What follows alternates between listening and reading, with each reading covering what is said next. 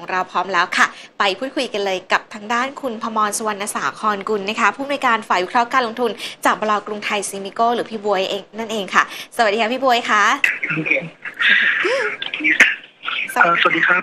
สวัสดีครับคุณนุ้ยแล้วก็ท่านผู้ชมทางบ้านทุกท่านครับอืมครับค่ะพี่บวยค่ะ อัปเดตภาพตลาดหุ้นให้หน่อยสิคะเป็นยังไงบ้างอ่าครับก็ต้องบอกนะครับว่าเอ่อครับตอนเนี้ยอ่าเซ็ตเนี่ยติดลบประมาณ 5 จุดนะครับค่ะแต่ว่า SET50เนี่ย ยังพยายามที่จะประคองบวกอยู่ อันนี้ก็บ่งชี้ว่า มีหุ้นใหญ่นะครับ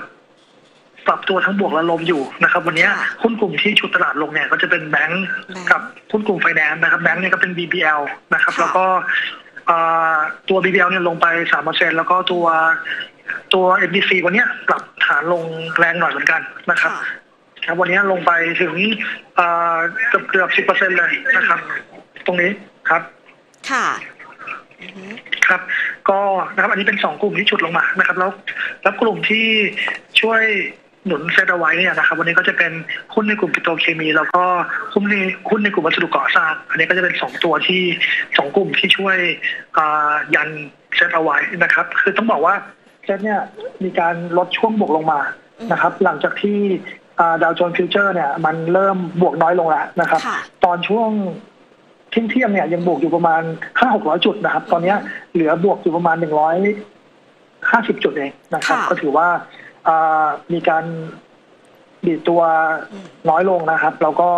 อาจจะสร้างความกังวลนะครับว่าคืนเนี้ยดาวโจนส์จะมีการปรับขาลงต่อหรือเปล่าหลังจากที่เมื่อวานเนี่ยลงไปเกือบสามพันจุดเลยค่ะนะครับเดี๋ยวคงต้องตามดูกันนะครับ ดังนั้นเนี่ยในกลยุทธ์การลงทุนตัวของ s e t y Future ค่ะนะครับ S50 S20 เนี่ยยังไงอย่างที่ผมเรียนไว้คืออา นะครับกรอบที่ให้ไว้เมื่อเช้าเนี่ยคือ 685 ถึง 710 นะครับค่ะนี่เป็นกรอบใหญ่คือ ถ้าดูแล้วเนี่ยเริ่มหลุด 685 ซึ่งเป็นอ่าโซนที่เป็นแนวรับลงมาเนี่ยนะครับ เราถ้าหลุดโลของวันเนี่ย ลงมาเนี่ยอันเนี้ยสถานการณ์อาจจะดูไม่ค่อยดีเท่าไหร่นะครับ ถ้าใครมีช็อตเนี่ยผมก็แนะนำเทคโปรฟิตนะครับ ถ้าใครมีลองอยู่เนี่ย แล้วนับสถานะอาจจะไม่ค่อยได้เปรียบเท่าไหร่ตอนเนี้ยนะครับ ก็อาจจะปิดสถานะมาก่อนนะครับ การถือสถานะข้ามอ่า ข้ามวันไปเนี่ยอาจจะมีความเสี่ยงที่อาจจะนะครับตัวของราคาเนี่ยอาจจะมีการเปิดกระโดดได้เยอะเหมือนกันนะครับค่ะอย่างที่เคยนับผ่านๆมาเนี่ยนะครับนับเวลาเปิดกระโดดตอนเช้าเนี่ยโอ้โหเปิดนะครับอย่างน้อยเนี่ยสิบยี่สิบจุดอะนะครับมีโอกาสได้เห็นดังนั้นเนี่ยถ้าเราถูกทางก็โชคดีไปนะครับ แต่ถ้าผิดทางเนี่ยก็อาจจะเสียหายได้นะครับ ดังนั้นเนี่ยอย่างที่ย้ำไว้ก็คือวางเงินสัญญาละห้าหมื่นนะครับอย่าไปวางขั้นต่ำนะครับ สัญญาละหมื่นเจ็ดเนี่ยอันนี้น้อยเกินไปนะครับ เราต้องลดอัตราทดลงมา นะครับค่ะอือหือครับอ่าค่ะแล้วอย่างนี้ในส่วนของครับ Single Stock Future พี่บวยมีตัวไหนที่มีสถานะคงค้างเอ่อบ้างไหมคะอือหือครับแล้วจริงๆเนี่ยมันมีตัวที่มีสถานะคงค้างอยู่ แล้วผมเห็นว่าเอ่อ แบบคาดว่าแล้ววันนี้วอลุ่มบล็อกเทรดมีเข้ามาเนี่ยนะครับค่ะเยอะเนี่ยนะครับอย่างเอ่ออย่างตัวหุ้นสามารถเนี่ยนะครับ วันนี้สามารถปรับขาลงมาค่อนข้างแรงนะครับอืมแล้ววันนี้ปรับลงมา 18เปอร์เซ็นเนี่ยแล้วผมเห็นมันมีวอลุ่มบล็อกเทรดเข้ามาหนึ่งหมื่นสองพันสัญญา อันนี้คาดว่าน่าจะเป็นนะครับการฟอร์สนะครับค่ะเพราะว่าเพราะว่าหุ้นสามารถเนี่ยปรับฐานลงมาค่อนข้างต่อเนื่องแล้วก็ลึกด้วยนะครับค่ะก็ นะครับหนึ่งหมื่นสองพันสัญญาเนี่ยคิดเป็นประมาณ12ล้านหุ้น แล้ววันนี้ค่ะเทรดไป20ล้านหุ้นเนี่ยก็คาดว่าวอลุ่มฟอร์เนี่ยมันอาจจะเกินครึ่งหนึ่งค่ะนะครับอืมครับครับอันนี้ก็เดี๋ยวจะต้องตามดูนะครับ ว่าแรงขายจะเด็ดหนักหรือยังเพราะว่าแต่นะครับ แต่ก็นับคิดว่าถ้ามีการฟอร์เกิดขึ้นมันน่าจะฟอร์จบแล้วแหละนะครับ แล้วก็อ่านับอีกตัวหนึ่งที่อ่าที่มี volume block trade เยอะเนี่ยก็จะมีตัวจะมีตัวหุ้นกันกุลหนึ่งแสนสามหมื่นสัญญา แต่ว่าอืม แต่ว่ากันกุลเนี่ยผมลองดูแล้ว น่าจะเป็นการโลเวอร์นะครับ ระหว่าง series M ไปที่ series U มากกว่านะครับ เพราะว่าราคาหุ้นแม่ไม่ได้กระทบค่ะนะครับ ส่วนตัว TMB เนี่ยมี block trade เข้ามาสามหมื่นสัญญา ตัว TMB นี่ rebound ได้เนี่ยนะครับ หลังจากที่เมื่อวันศุกร์เนี่ยโอ้โห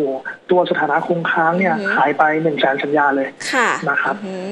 นี่ก็จะเป็นส่วนหนึ่งที่มีบล็อกเทรดอาจจะเริ่มมีการลองกลับเข้ามาแล้วนะครับแล้วก็จะขอเตือนอาจะขอเตือนทางนักลงทุนด้วยนะครับคนที่เทรดในตัวของ relative warrant อยู่นะครับอือฮึเราเนี่ยนะครับมีการแท็กดูเนี่ยปรากฏว่าเราเห็นตัวของ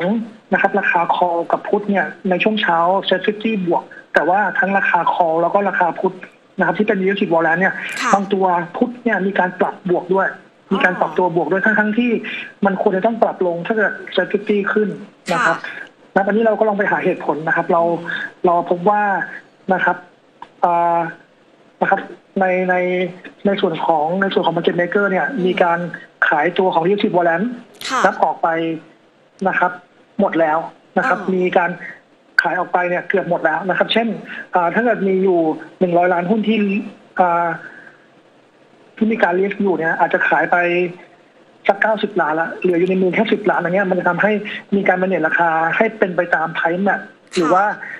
นะครับหรือว่าตัวของราคาที่อ่าที่อิงตามอ่าที่อิงทางด้านที่อ่าที่อิงตามอือฮึทางด้านทฤษฎีเนี่ยค่ะเป็นไปได้ลำบากนะครับ อาจจะมีการควบคุมลำบากดังนั้นเนี่ยถ้านักถ้านักลงทุน trade ยูชิโบแลนอยู่เนี่ยค่ะต้องมีการเช็คด้วยนะครับอ๋อว่าอ่า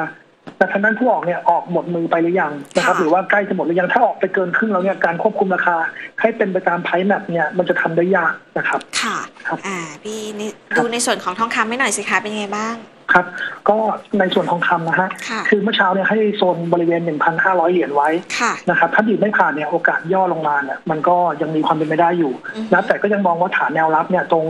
หนึ่งสี่สี่ห้าแล้วก็หนึ่งสี่ห้าศูนย์เนี่ยค่ะโซนเนี่ยเป็นโซนที่อ่า มันมีความสำคัญแล้วก็เป็นแนวรับที่ดีนะครับ ก็เชื่อว่าอ่าถ้าชนพันห้าไม่ผ่านเนี่ยอาจจะ trading short สั้นๆก่อน แล้วก็มาทำกำไรตรงโซนล่างที่ผมบอกนะครับค่ะใกล้ๆอ่าแถวๆหนึ่งสี่ห้าศูนย์นะครับ ก็จริงๆคิดว่าทองคำเนี่ยปรับฐานจาก high อืมลงมาเนี่ยนะครับ ตอนเนี้สองร้อยเหรียญแล้วค่ะนะครับ น่าน่าจะมี downside เนี่ยอืม ที่ไม่ได้เยอะแล้วในช่วงสั้นนะครับแล้วน่าจะมีการ rebound ใหญ่สักรอบแต่ทีเนี้ยก็ต้องมาดูคืนนี้แหละครับว่าจะกลับไปยืนพันห้าได้หรือเปล่าอืมนะครับ ได้ค่ะพี่บวยค่ะ โอเค ขอบนี่คุก็ณเป็นมากกลยุทธ์ๆทองสำหรับคำครับค่ะ ขอบคุณมากๆนะคะ ครับสวัสดีครับค่ะสรับวัสขอดีบณค่ะรับอะขอบคุณนะคะสำหรับข้อมูลจากทางด้านคุณพมรสุวรรณสาครกุลนะคะผู้ในวยการฝ่ายวิเคราะห์การลงทุนจากบลกรุงไทยซีมิโก้นะคะช่วงนี้เดี๋ยวเราพักกันสักครู่ค่ะ